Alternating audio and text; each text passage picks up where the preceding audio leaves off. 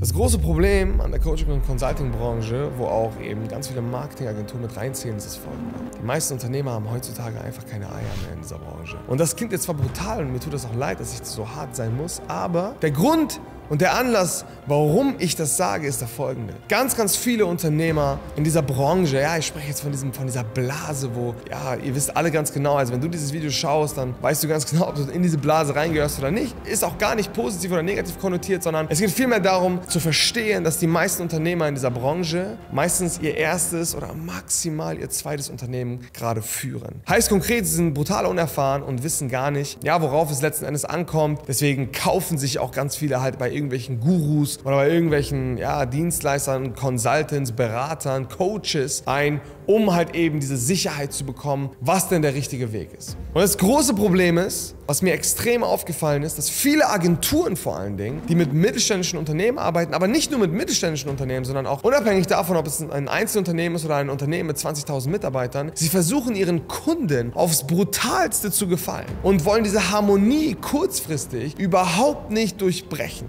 Und das ist fatal. Denn das sorgt dafür, dass ganz viele Agenturen ihre Kunden nicht zufriedenstellen können, weil sie sich von ihnen reinreden lassen. Deine Kunden, die buchen dich nicht, damit du ihnen dauerhaft gefällst, ja? Und deine Kunden buchen dich auch nicht, weil sie Langeweile haben und sich denken, yo, diese 10, 20, 30, 40.000 Euro habe ich da gerade rumliegen und ich habe selber keinen Bock, das zu machen, deswegen beauftrage ich jetzt einfach mal eine Marketingagentur. Das sind nicht die Gründe, warum die Kunden dich buchen. Deine Kunden buchen dich aus ja, mehr oder weniger ein bis zwei triftigen Gründen. Ja? Sie wollen die Sicherheit, dass, es, dass sie jemanden, einen, einen Fachmann beauftragen, der diese Kompetenz gebündelt in seinem Unternehmen hat und diese Kompetenz höher und besser ist als die eigene. Ja? Also ich, ich gehe zum Friseur, nicht weil ich den Friseur so sehr mag und auch nicht, weil mir langweilig ist. Ich gehe zum Friseur, weil ich dem Friseur eine höhere Autorität und eine höhere Kompetenz zuspreche, mir die Haare zu schneiden, als es selber zu machen. Oder, oder meine Mutter zu fragen, ob sie mir die Haare schneiden.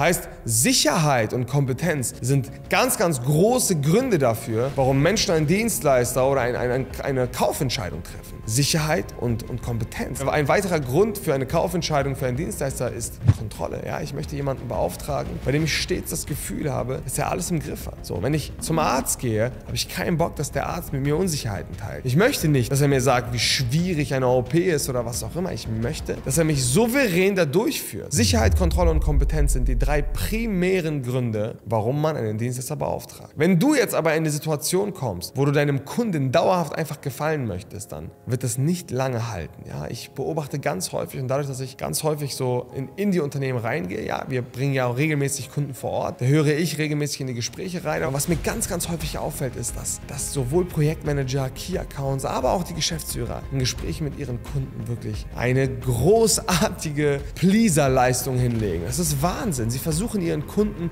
bloß nicht zu widersprechen. So. Teilweise fängt es auch schon in den Sales Calls, in den Strategiegesprächen an. Sie versuchen bloß nicht eine Disharmonie zu kreieren. Sie versuchen ihren Kunden nicht zu widersprechen und sie versuchen, sie haben dieses Mindset und das ist das größte Problem. Sie haben dieses Mindset, dass sie jetzt einen Dienst leisten müssen, für den der Kunde ja so viel Geld bezahlt.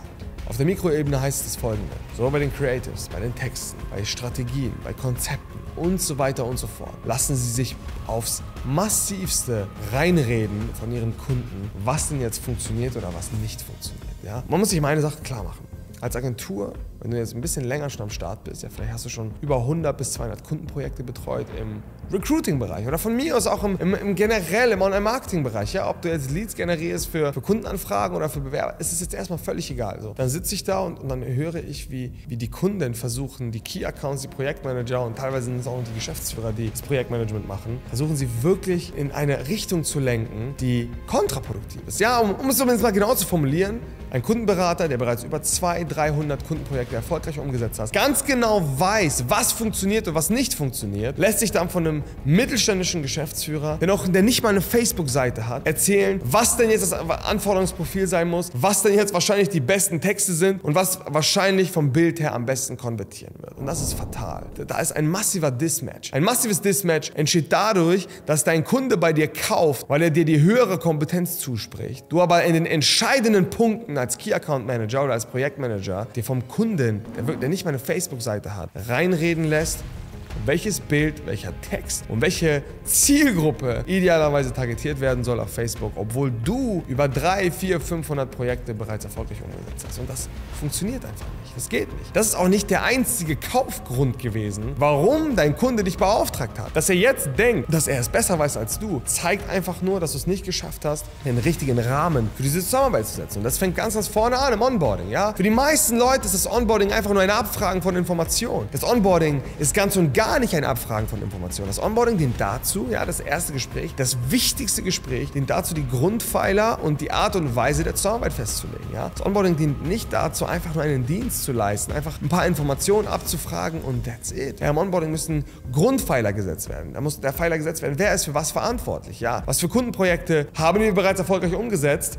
Das muss nochmal präsentiert werden. After Sale ist before sale. So, das muss man sich einfach mal ganz klar machen. Du musst verstehen, dass nach einem Kauf der nächste Kauf bereits vor der Tür steht. Das heißt, du musst den Leuten, und das finde ich so cool, weil ich war letztens in einem Hotel, in einem, guten, in einem sehr guten Hotel, ich werde den Namen jetzt nicht nennen, aber da habe ich gebucht. Das erste, was ich in diesem Hotelzimmer gefunden habe, war so ein Buch mit den 100 führenden Hotels weltweit. Und da war so ein kleines Post-it auf der Seite, wo dieses Hotel, in dem ich gerade mich eingebucht habe, markiert war. Ja, ist total gut, weil das hat meine Kaufentscheidung bestätigt, ja, dass ich in einem guten Hotel bin. Und dann hat mir das Zimmer auch noch ganz anders gefallen. Letztens saß ich auch noch in einem italienischen Restaurant. Da hat mich der Besitzer gefragt, hey, oder der Kellner, ich weiß nicht, ob es der Besitzer war, der hat mich gefragt, ja, trinken Sie Espresso? Ich sage, ja, sehr gerne. Ja, und dann hat er mir gesagt, ey, wir machen den besten Espresso in der ganzen Stadt. Der Espresso, den ich danach getrunken habe, ich weiß nicht, ob es mir einbildet oder nicht, aber der hat mir auf jeden Fall besser geschmeckt und ich hätte sicherlich danach nicht gesagt, boah, nee, scheiß Espresso, nachdem er mir ja, einfach ein gutes Gefühl von vornherein gegeben hat. So ein Onboarding und der Kick, das Kickoff für eine Zusammenarbeit spielt eine so verdammt wichtige Rolle und da ist es extrem wichtig, dass du deine Kunden im Rahmen hältst. Du musst ihnen zeigen, was funktioniert und was nicht funktioniert. Du musst in der Lage sein, deine Kunden zu educaten. Denn du hast viel mehr Erfahrungswerte als deine Kunden in, in diesem einen Bereich. Deswegen hat er dich ja auch beauftragt. Vergiss den ursprünglichen Grund nicht, warum dein Kunde dich beauftragt hat. Dein Kunde hat dich nicht beauftragt, um einfach einen verlängerten Arm nur zu haben. Dein Kunde hat dich beauftragt, weil er dir eine höhere Autorität zuspricht. Wenn es dann Situationen gibt, wo er dann sagt, guck mal, nee, das muss anders und das muss anders und das muss anders und das muss anders, dann musst du ihm ganz klar eine Empfehlung aussprechen, was funktioniert und was mit der höchsten Wahrscheinlichkeit besser sein wird. Ja, deine Kunden können das nicht wissen. Die wollen von dir ein Lied haben. Die wollen von dir durch diesen Tunnel geführt werden, der sehr, sehr eng ist. Sie wollen nicht nach links und rechts ausschweifen, aber wenn deine Persönlichkeit und wenn du als Charakter nicht stark genug bist, um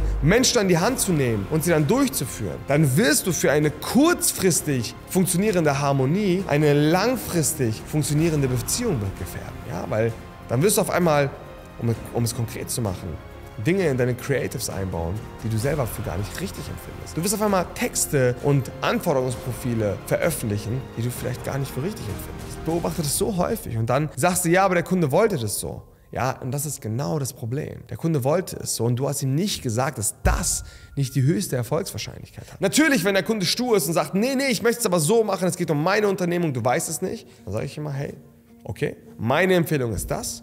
Wenn du das aber nicht so möchtest, dann können wir das trotzdem so für dich umsetzen. Aber dann, wenn es nicht funktioniert, dann werde ich dir sagen, lieber Kunde, ich habe es dir gesagt. Das ist ein Ausnahmefall. Zu einer Situation wird es in der Regel nicht kommen, wenn du einfach sicher und selbstbewusst sagst, hey, pass auf, lass uns das so machen, so wird es erfahrungsgemäß funktionieren. Ich habe das schon sehr, sehr häufig mit anderen Kunden umgesetzt, mit Kunde X, Y und Z und es hat super funktioniert. Glaubt mir, liebe Leute, eure Kunden möchten das von euch hören. Die wollen von euch diese Führung haben, ja? Sie wollen diese Führung und deswegen hör auf, ihm ständig zuzustimmen, sondern sprich aus einer selbstbewussten, direkten Warte heraus.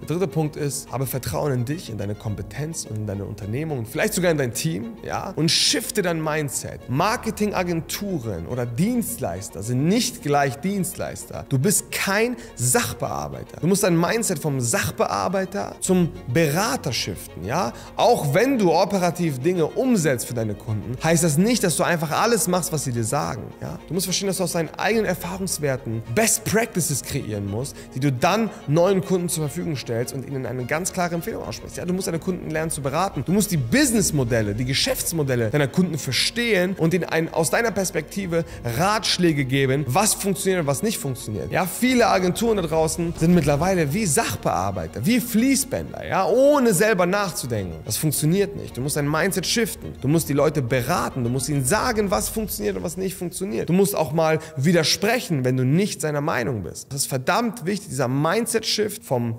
Sachbearbeiter zum Berater. Der muss passieren. Weil nur so kannst du langfristig funktionierende Kundenbeziehungen aufbauen und nur so kannst du außerordentliche Ergebnisse liefern. Deine Kunden wollen das auch von dir. Ja, probier das einfach mal aus, mal zu sagen, wo es lang geht und du wirst merken, dass deine Kunden dir folgen werden. Und das, wozu das Ganze führen wird, ist das folgende. Du wirst viel bessere Kundenbeziehungen haben, du wirst bessere Ergebnisse haben und du wirst eine Zusammenarbeit auf Augenhöhe haben. Was viele Agenturen, und ich muss lachen dabei, weil ich das überhaupt nicht nachvollziehen kann, aber womit viele Agenturen da draußen, die sind eigentlich wie die Sklaven ihrer Kunden. Ja, die laufen laufen von einem Loch zum anderen. Sie laufen von einer Lücke zum anderen, von einem unzufriedenen Kunden zum anderen. Ja, sie haben, ich beobachte das so häufig, ich, ganz, ganz, ganz häufig habe ich folgende Situation. Da wird verdammt gute Arbeit geleistet von der Agentur und die Kunden sind immer noch unzufrieden. Ja, die haben von zehn geplanten Stellen sieben eingestellt, drei noch nicht. Dann gehen sie in das Check-up-Gespräch und dann sagen die, ja, läuft scheiße. Wo ich mir so denke, wie zur Hölle kann es passieren, dass so eine gute Arbeit in so ein Licht gerückt wurde. Das liegt dann einfach daran, dass die Agenturen und die, die Projektmanager und Key-Accounts dieser Agenturen einfach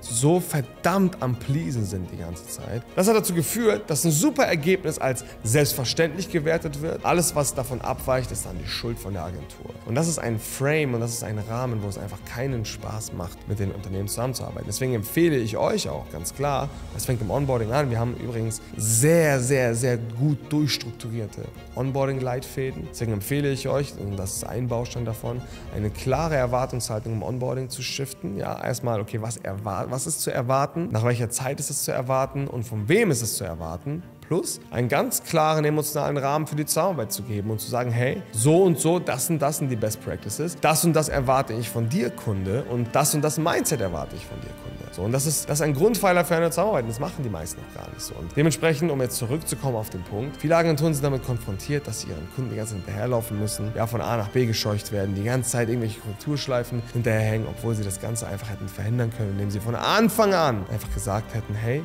Lass uns das so machen. Wir haben Erfahrung mit über 100 Kunden so und das wird funktionieren. Und das ist die große Quintessenz, ja. Und für all die, die sich, die sich vielleicht selber nicht wiedererkennen, aber ihre Projektmanager, ihre Key Account Manager, man kann diese ganzen emotionalen und auch strukturellen Prozesse systematisieren. Ja, man kann da wirklich gut, eine gute Basis durch ein paar Hacks und durch ein paar Tricks und Tipps aufbauen. Wenn ihr euch darin wiederfindet ähm, oder eure Mitarbeiter darin wiederfindet, dann tragt euch gerne auf www.celsius.de ein für ein kostenloses Beratungsgespräch. Dann könnt ihr das Ganze einfach mal anschauen, ja. Und wenn wenn nicht, dann liked, abonniert. Das könnt ihr auch so machen. Und ja, wenn euch das Video gefallen hat, dann sagt uns gerne, ja, dann lasst gerne ein Like da. Ansonsten vielen Dank fürs Zuhören und bis zum nächsten Mal.